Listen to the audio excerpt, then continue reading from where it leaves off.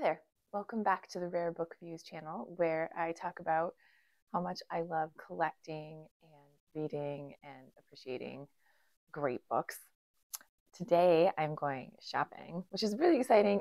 risky. It is January and post holiday shopping, the used bookstores tend to be just a little bit desolate. So I'm going to take a risk and I'm going to go have some fun and I hope it's going to be good. I'm going to this really big warehouse type store. So I feel like there is a chance that they'll just have more stock and it won't be quite as thin after the holidays. I have a long list of things that I would like to read, popular fiction, things like that. And then I, of course, I'm always looking for cool editions of books that I love. And I've just given everybody their presents. So now I have to replenish the present shelf. So I have some wish lists for people, a bunch of friends who have kids who are always looking for some bargains of the things their kids want to read. So hopefully I'll find something good. Let's go check it out.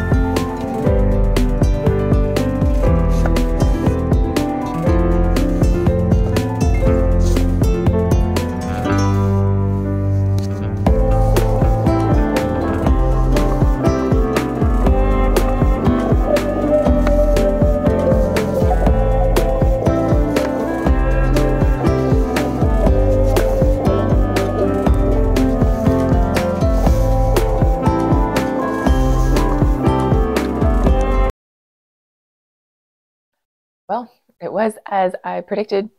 There, there were some empty shelves at the bookstore. It was as if the locusts had been through. So I think that's really cool. That means a bunch of people got books for the holidays, for gifts. It means a bunch of people are reading. And I think that's really fun. There were families out today, and that was really fun. Little kids all excited about the books. But I, I did find a couple of things, but they are for the present shelf, so I can't show you. I didn't find anything really notable. I didn't find any great additions, but it did kind of get me excited for the new year. So I don't do resolutions, but I am hoping to read more and enjoy books more. So you never know. And that's really all I have.